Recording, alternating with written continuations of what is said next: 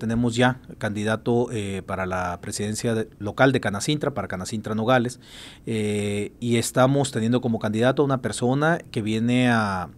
sumar esfuerzos. Si es, elegido, si es, elegido presidente la próxima semana de la Cámara, el evento lo tenemos el próximo martes, en donde se está convocando al Consejo en General de Canacintra para acudir a llevar a cabo la elección. Tenemos un candidato único, que en este caso es el señor Carlos Ávila. Carlos Ávila es un empresario de Nogales, un hombre que es oriundo de Nogales, su esposa Cristina, una mujer que también conocemos dentro de la actividad pública laboral, eh, que se ha caracterizado por llevar a cabo muchas acciones en, la, vida pública y que el conjunto de estas dos personas, bueno, pues viene a refrescar a la Canacintra, a ofrecer una alternativa de viabilidad y sobre todo en un gremio que es tan importante en Nogales como lo es la industria, un gremio que representa el 70% de la mano de obra de Nogales